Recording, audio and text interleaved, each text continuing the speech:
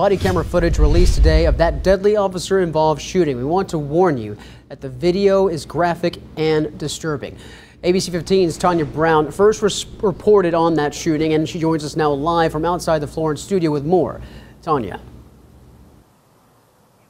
Andrew, we found a Freedom of Information request yesterday for the video and police report. I talked with the city attorney this afternoon, and he says they went ahead and released all of the body cam video to be transparent. He says he wants the public to know and see exactly what happened. Now, the video is from two officers' body cam, and it shows them responding at a home yesterday on East Liberty Street in Marion. The situation quickly took a turn for the worst.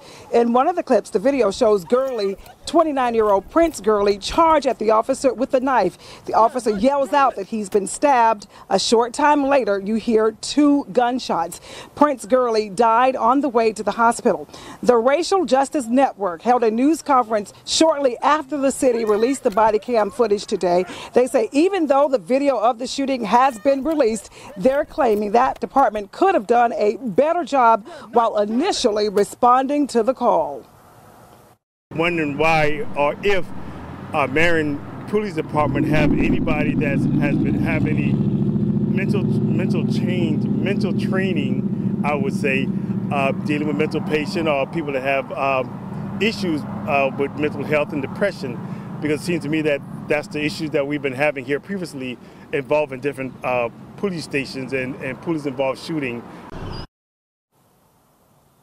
The city says they're, quote, going to continue to go above and beyond in its efforts to be completely transparent with the citizens of Marion and the public generally. Now, I have talked with several neighbors yesterday and even today who said that officers have responded to that house on East Liberty Street several times in the past for disturbances. I've requested any and all incident reports from that location.